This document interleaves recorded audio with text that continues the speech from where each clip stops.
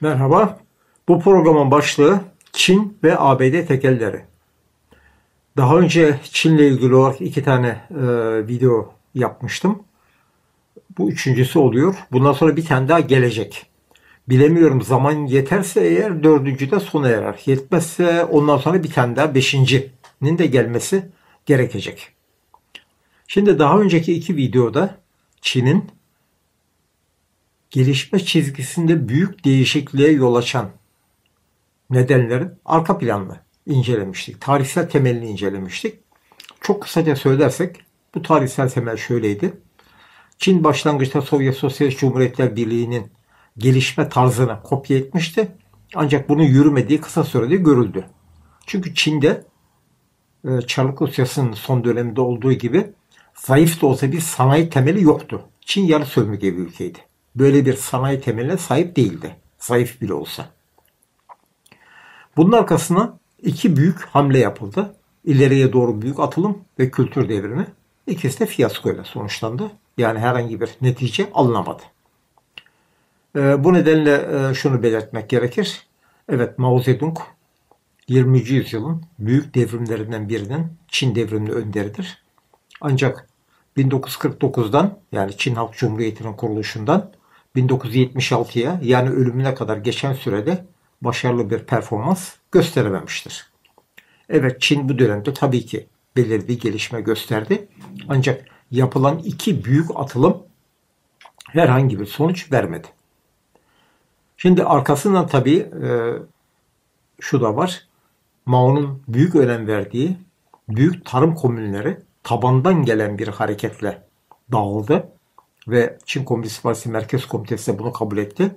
Çünkü tarım üretimi yetmiyor. İnsanlar aç ve bu açlık işte Marksizm, Leninizm ve Mao Zedong düşüncesine daha fazla inanarak ortadan kalkmaz. Bunun yerine aile tarımına geçildi. Köy komünlerin yerine ve tarım üretimi de artmaya başladı. Şimdi Çin'in karşısında şöyle bir soru var. Ne yapacağız? Ne istiyoruz? Bu ülkeye büyük altyapı yatırımları ve sanayi yatırımları yapılması gerek.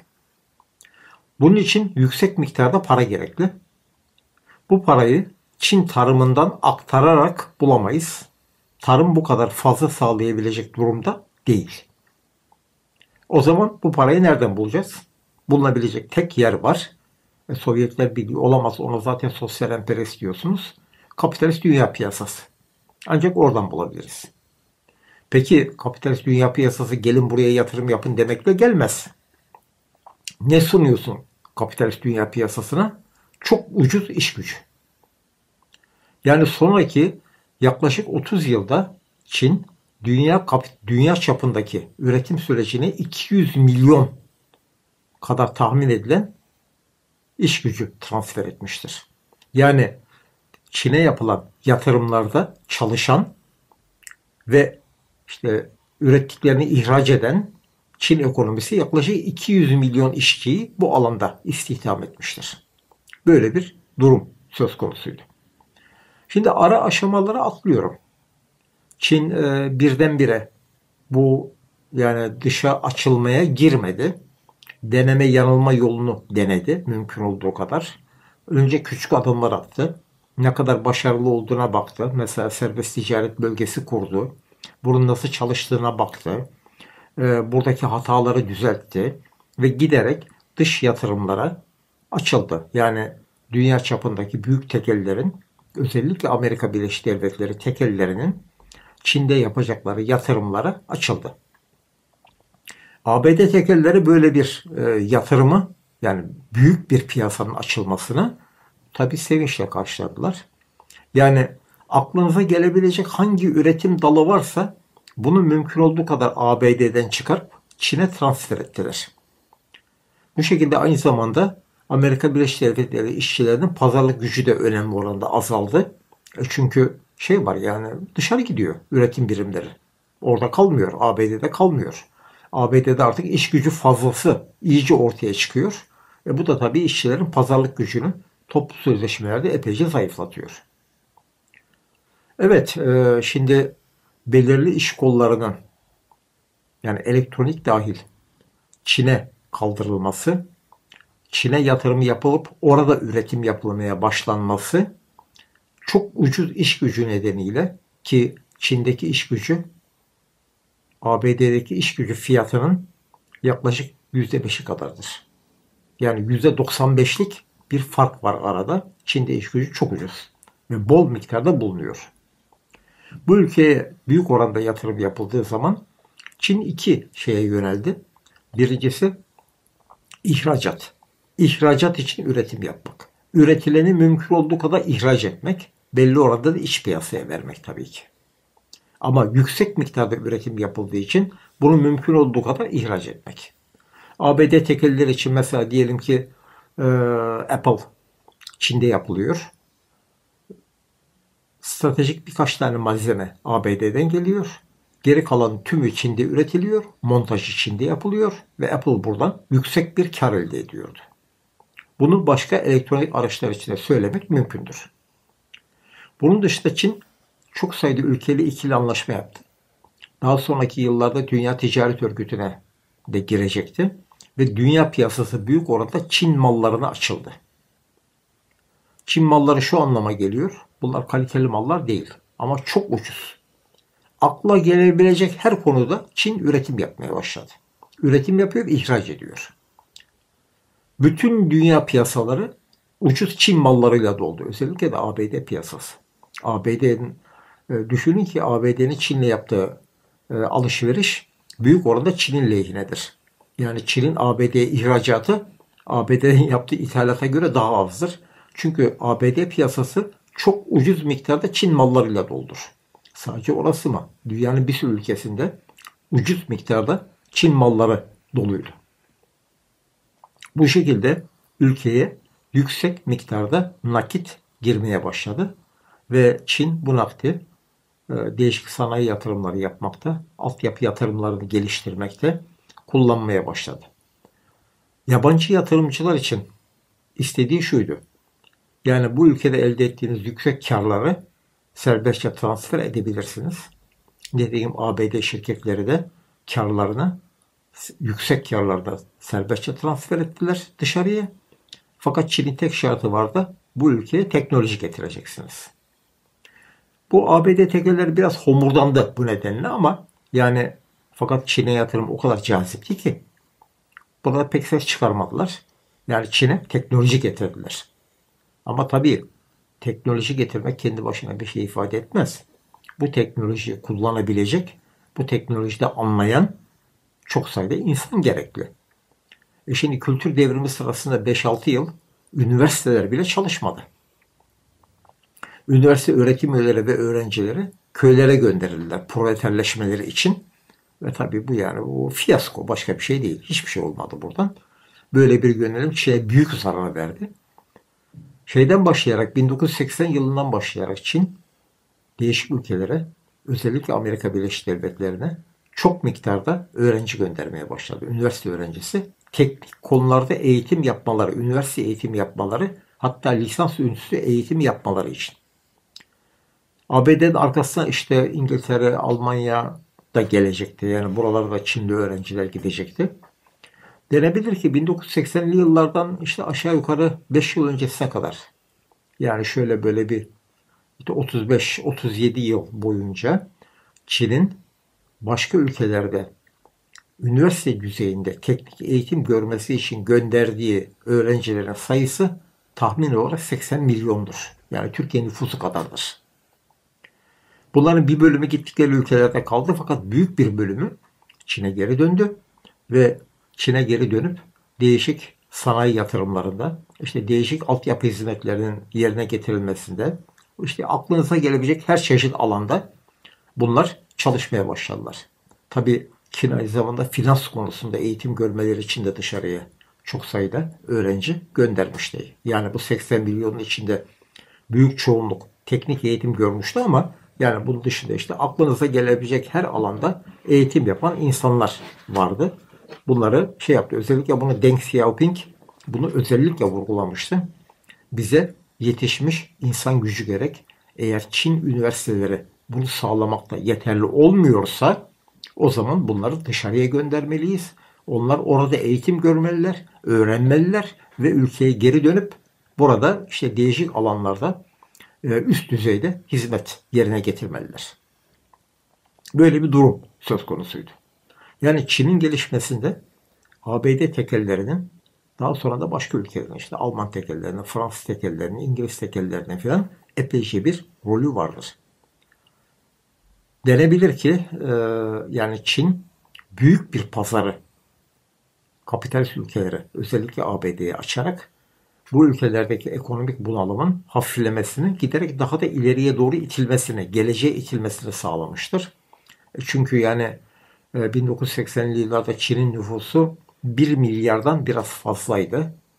1,1 milyar, 1,2 milyar filandı. Ve bu piyasa tamamen kapitalist dünya ekonomisinin dışındaydı.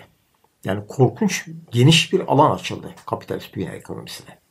Böylece. Yani Çin'in politikası şuydu. Sen de kazan, biz de kazanalım. Yüksek oranda kar elde edeceksin. Buraya yaptığın yatırımlardan biz de senden teknoloji alacağız. Ve üretimimizi arttıracağız. Tamamen ihracata yönelik üretim yapmaya başladı Çin.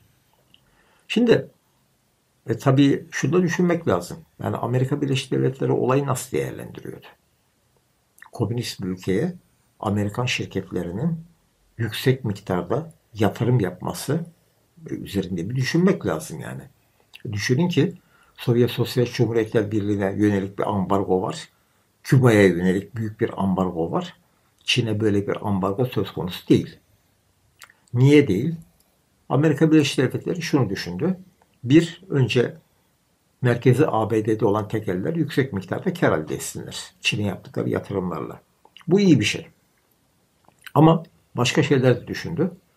O dönem özellikle 80'li yıllarda asıl rakip Sovyet Sosyalist Cumhuriyetler Birliği'ydi. Ee, Çin de e, onu sosyal emperyası olarak görüyor ve hatta ABD'den daha tehlikeli bir emperyası olarak görüyor. Aynı zamanda e, bu da ABD'nin tabii ki hoşuna gider. Bir nokta bu. Bir başka nokta şu. Düşünülüyordu ki Çin piyasa ekonomisine geçiyor. Evet. Yani çok sayıda yabancı yatırımın ülkeye yatırımcının ülkeye girmesiyle birlikte Çin e, piyasa ekonomisine doğru gelişiyor. E, zaten tarımda komünler dağıtıldı. E, tarım dışında sanayide belli özelleştirmeler yapıldı. Ve bunlar giderek ilerliyor da. Yani bunun adı Çin kapitalizme geçiyor. E buna da biz yardımcı olalım tabii ki. Niye engel olalım ki diye düşünüyor ABD e, yönetimi. Ek olarak şunu da düşünüyorlardı bir ülke kapitalist üretime geçtiği zaman o ülkede Komünist Parti iktidarda kalamaz. Başka partiler kurulacaktır ve bu partiler bir şekilde iktidara gelecektir. Komünist Partisi'nin iktidarı son bulacaktır. Bu da ABD'nin fena halde işine gelir. Dolayısıyla yani bütün e, faktörler ABD'nin lehine görünüyor. Evet Çin de bundan kazanacak ama biz daha fazla kazanırız düşüncesiyle ABD Çin'e yapılacak yoğun yatırımları teşvik etti. Dediğim gibi ABD-Çin yakınlaşması 1974'te ABD Başkanı Nixon'un e, Pekin'i ziyaret etmesi de Mao ile görüşmesiyle başlar. E, bunun arkasından işte 76'da Mao ölür. 78'de e, dörtlü çete denilen ve kültür devriminin devam etmesini isteyen kesim aralarında Mao'nun eşi de vardır. Tasfiye edilir. 78'den itibaren Deng Xiaoping Çin Komünist Partisi Genel Sekreteri olur ve 80'li yıllardan itibaren Çin gelişme rotasını tamamen değiştirip deneme yanılma yoluyla önce küçükten başlayarak, küçükten başlayıp büyüye doğru giderek e, büyük iç piyasayı kapitalist yatırımcılara özellikle ABD tekellerine açar. Tek şartı bunun için dediğim gibi bu tekellerin ülkeye teknoloji getirmesidir. Çin bu teknolojiyi şey yapar, öğrenir. Tabi öğrenmesi için bunu anlayacak insan lazım. Yani şimdi ortaokul mezunu bu teknolojiyi öğrenemez. Çin'in bu kadrosu belli oranda vardı. Bu kadroyu hızlı bir şekilde arttırmak için çok sayıda üniversite öğrencisini başka ülkelerde özellikle ABD'de teknik eğitim görmesi için gönderir. Bunlar ülkeye döndüklerinde tabi Çin ekonomisi e, değişik alanlarda, teknolojik alanlarda da olmak üzere yatırım yapmaya başlar. Bir başka konu ise Çin çok ucuz iş gücünü kullanarak aklınıza gelebilecek her alanda üretim yapmaya başlar ve değişik ülkelerle yaptığı ikili anlaşmalarla bu ülkelere yoğun ihracata yönelir. Yani Çin'in ürettiği mallara kaliteli mallar denemez ama bunlar çok ucuzdur ve dünyanın çok sayıda ülkesini ucuz Çin malları doldurur. E bunlar tabii ülkeye devamlı olarak şey getiriyor yani nakit, döviz getiriyor doğal olarak. Şimdi burada şunu belirtmek gerekir. Çin'in nasıl bir gelişme yolunu izleyeceği sadece Çin için değil, bütün insanlık için önemlidir. Çünkü Çin nüfusu dünya nüfusunun beşte biridir. Dünyadaki her beş kişiden biri Çinlidir. Şu anda dünya nüfusu 8 milyarsa Çin'in nüfusu 1,6 milyar. Böyle bir durum söz konusu. Bu politikanın sonuçları ne oldu? Konusuna gelecek programda gireceğim. Yani Çin'in o yüksek tempolu gelişmesi, 35 yıllık yüksek tempolu gelişmesi ve geri bir tarım toplumundan çıkarak bir gelişmiş bir toplum durumuna gelmesi, daha gelişik epi yolu var tabi, bunu kendileri de söylüyor. Bu yolla mümkün oldu. Bunun mekanizması esas olarak buydu. Tabi ayrıntıların daha tamamlanması gerekir. Bunları artık ileride tamamlayacağım ama işin esas yanı yani işin iskeleti diyelim ki buydu. Durum buydu. Sonuçlardan birini söyleyeyim size ve ondan sonra program bitirelim. 1980'li yılların başlarında Çin'in nüfusu kaçtı bilmiyorum ama 1,1 milyar ya da 1,2 milyar filan da öyle bir şeydi. Çin nüfusunun %80'i yoksulluk sınırında yaşıyordu. Aradan 35 yıl geçtikten sonra yoksulluk sınırında yaşayan Çinli sayısı %5'in altına inmiştir. Yani Çin'de e, sadece bir burjuvazi ortaya çıkmadı. Sadece ülke sadece sanayileşmedi. Aynı zamanda içerideki refah düzeyi de büyük oranda arttı. Tabii bu büyük oranda artış e, şeyde birlikte getirdi. Müthiş bir gelir dengesizliği hatta gelir uçurumunu da getirdi insanlar arasında. Yani yoksulluk içinde gene var. Gayet tabii var. Ama eskisi gibi değil. Eskisinin daha üzerinde var. Yani o eskisi kadar düşük bir seviyede bulunmuyor. Şimdi gelecek programda bugün Çin'in durumu nedir? Ve bundan sonra nereye doğru gitmektedir? Nereye yönelmektedir? Konusu üzerinde duracağız. Ve arkasından zaman yettiği oranda belki gelecek programda belki ondan sonraki birinde e, Çin'i nasıl nitelendirebiliriz? Konusu üzerinde duracağım. Kendi deyimiyle Çin tipi sosyalizm mi? Çin öyle diyor. Çin Komünist Partisi. Devlet kapitalizmi mi? Kimilerinin söylediği gibi. Ee, ya da David Harvey gibi yeni emperyalizm teorisyeni David Harvey, e, Harvey gibi e, Çin tipi neoliberalizm mi? Yani çok değişik adlandırmalar var. Aynı olguya yönelik. Bunun üzerinde durmaya çalışacağım. Evet. Bir dahaki programa kadar burada. Şimdilik bu kadar. Ee, şimdilik hoşçakalın.